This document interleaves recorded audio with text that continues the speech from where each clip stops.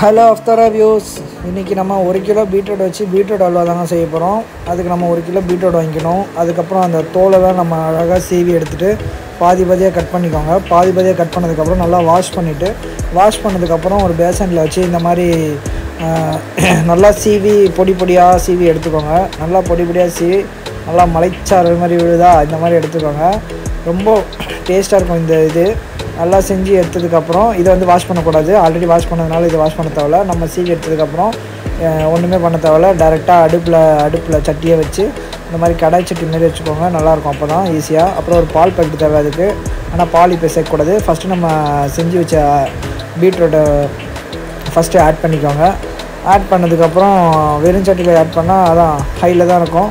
ஒன்றும் பிரச்சனை இல்லை. நீங்கள் ஃபஸ்ட்டு ஆட் பண்ணுங்கள் ஆட் பண்ணதுக்கப்புறம் இந்த வாட்டர்லாம் இருக்கும்ல பீட்ரூட்லேருந்து வந்த அந்த வாட்டரையும் கொஞ்சம் ஆட் பண்ணிக்கோங்க. இதில் நம்ம என்ன பண்ண போகிறோம் டேரெக்டாக பால் தான் சேர்க்க போகிறோம் பேக்கெட் பால் இருந்துச்சுன்னா கூட பேக்கெட் பால் சேர்த்துக்கோங்க. மாட்டுப்பால் இருந்தால் கூட மாட்டுப்பால் சேர்த்துக்கலாம் ஒன்றும் பிரச்சனை இல்லை. எங்கள்கிட்ட பேக்கெட் பால் இருந்துச்சு மாட்டுப்பால் இருந்துச்சு. அதனால் ஃபஸ்ட்டு பேக்கெட் பால் ஒரு ஆஃப் லிட்ரு அதான் ஒரு கிலோவுக்கு ஒரு முக்கால் லிட்ரு பால் ஊற்றணும் அதுக்கு ஈக்குவலாக ஊற்றணும் அதனால தான் அதுக்கப்புறம் அரை லிட்டர் பால் ஊற்றிட்டு அதுக்கப்புறம் ஒரு கால் லிட்டர் ஒரு பால் மாட்டுப்பால் கொஞ்சம் இருந்துச்சு.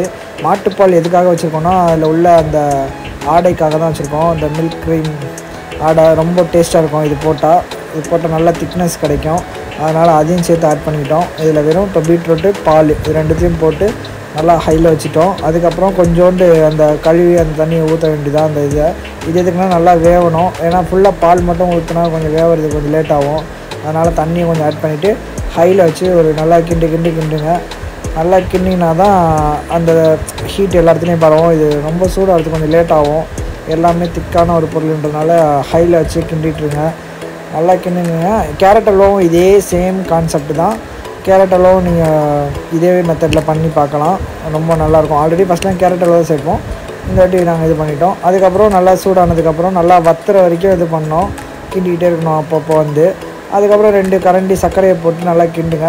ஒரு கிலோவுக்கு ஒரு மூணு கரண்டி சர்க்கரை கரெக்டாக இருக்கும். ஃபஸ்ட்டு நீங்கள் ஒரு ரெண்டரை கண்டி போடுங்க.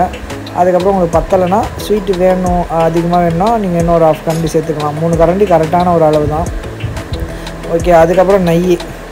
நல்லா ஜிஆர்பி நெய்யை எடுத்து நல்லா மேலே ஊற்றி விட்டிங்கன்னா கம கம கம்மன்னு வாசனை வரும்.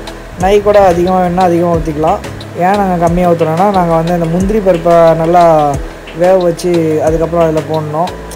வறுத்து போடுவாங்கள்ல அதுக்காக தான். இந்த மாதிரி கரண்டி ஃபுல்லாக நெய்யை ஊற்றி அதில் முந்திரி பருப்பு போட்டு அதில் போட்டுட்டோம். போட்டதுக்கப்புறம் நமக்கு தேவையான கேரட் அல்வா சி பீட்ரூட் அல்வா ரெடி இந்த ரெசிபி உங்களுக்கு பிடிச்சிருந்தா உங்கள் ஃப்ரெண்ட்ஸுக்கு ஷேர் பண்ணி லைக் பண்ணி கமெண்ட் பண்ணுங்கள் ஓகே தேங்க்யூ பை பாய்